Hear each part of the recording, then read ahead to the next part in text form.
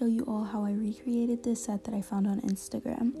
Um, I'll put a picture up of the original set for reference, and the original creator is at the Nail Sensei, so be sure to go look at her post. I'll link her pages down below in the description. So, originally, my cousin is the one who sent it to me and asked me to do it, so here it is.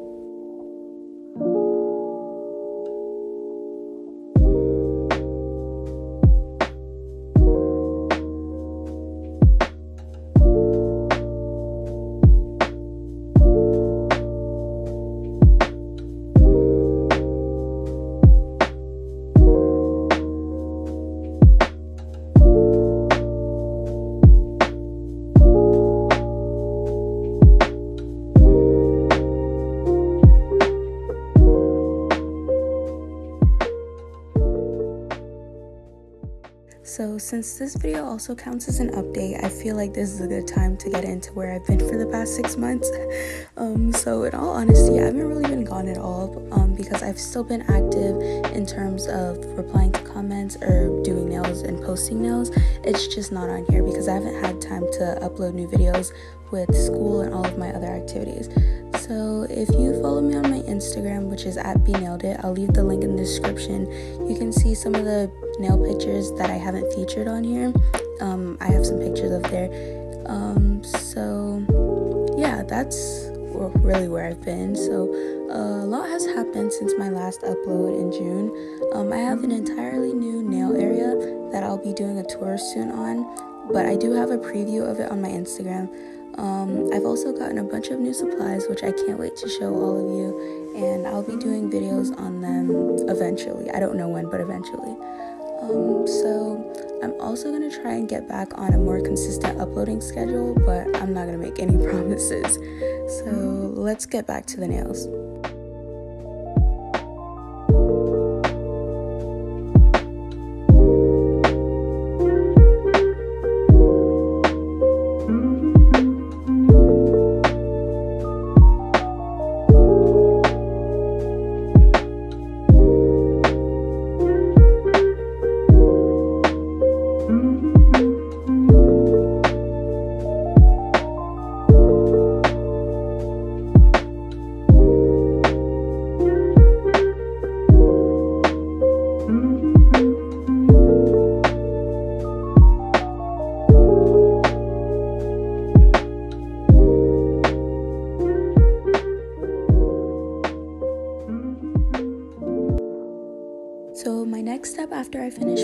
Hand is to start laying acrylic. So for the pinky finger, the ring finger, and the thumb, I just did a plain white because it's cow print, so I just needed a base so I could draw on top of it later.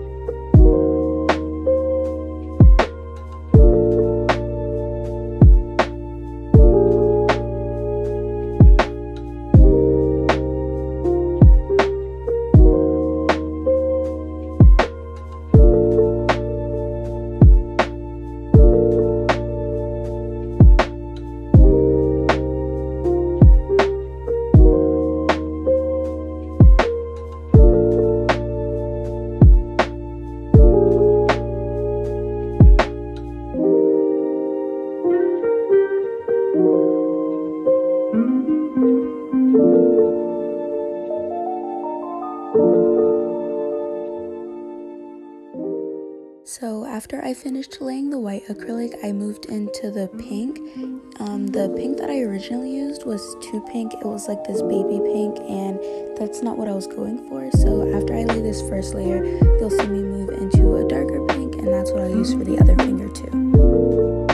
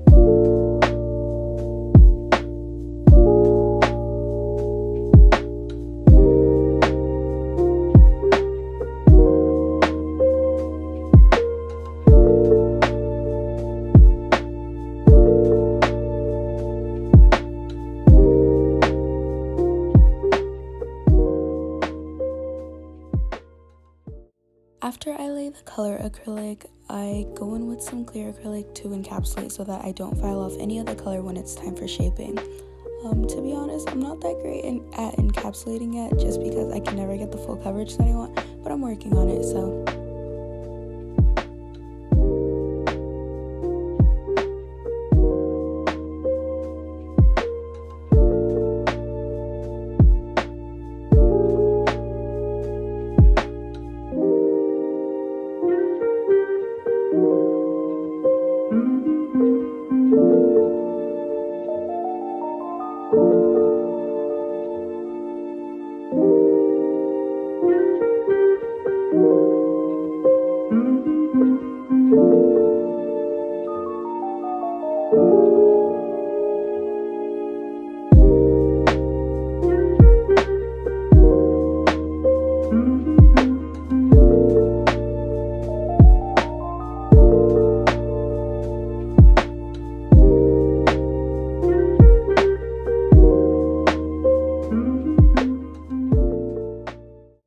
So after I finished laying the acrylic, I just brought out my nail vacuum and my e-file so I could start shaping.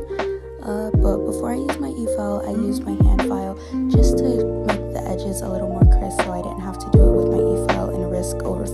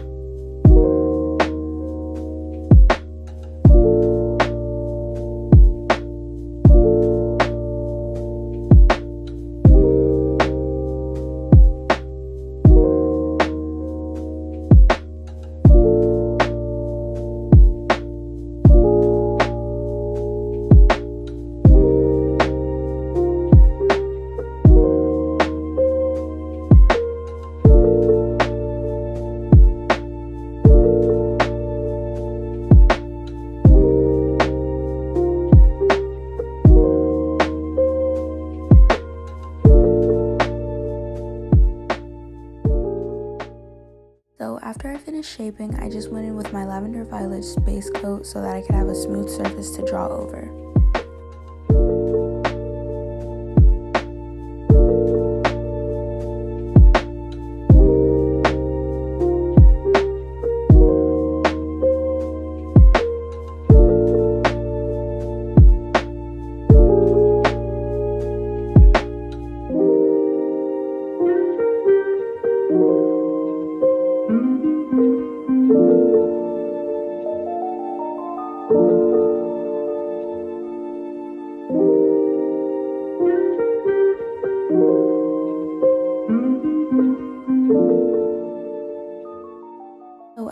Finished the base coat, I just went in with a black nail polish. Um, I don't have a black nail polish in gel, which is weird, I know. Um, but anyway, um, I just start drawing the cow print shapes. I don't really have a specific method for this either. I just start like drawing little blobs and start branching off of them. And I try not to make them look too uniform or anything.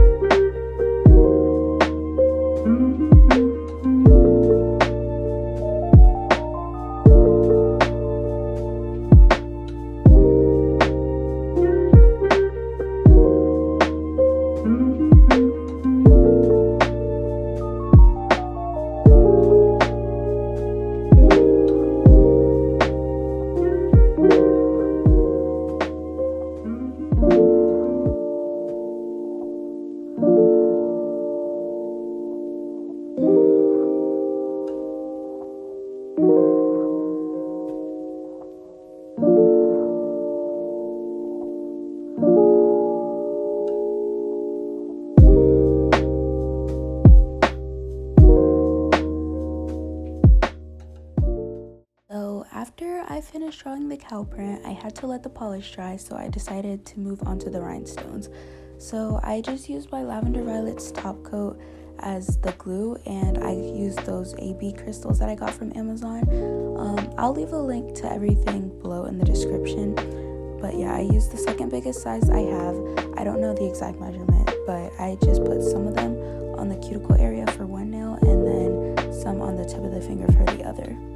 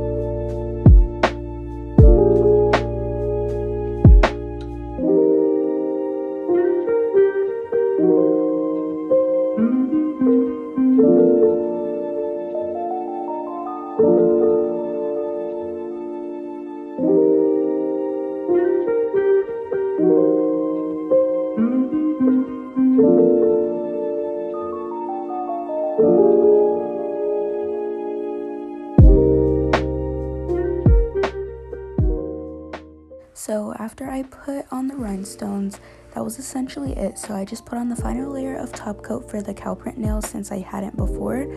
Um, so yeah, that's basically all I did. Uh, let me know how you guys think it turned out. I'll put some clearer pictures at the end so you guys can see it better. Um, so yeah, be sure to check out the Nail Sensei's original post check out my Instagram if you're interested in seeing any of the pictures that I posted while I was gone. Thank you for watching. Bye.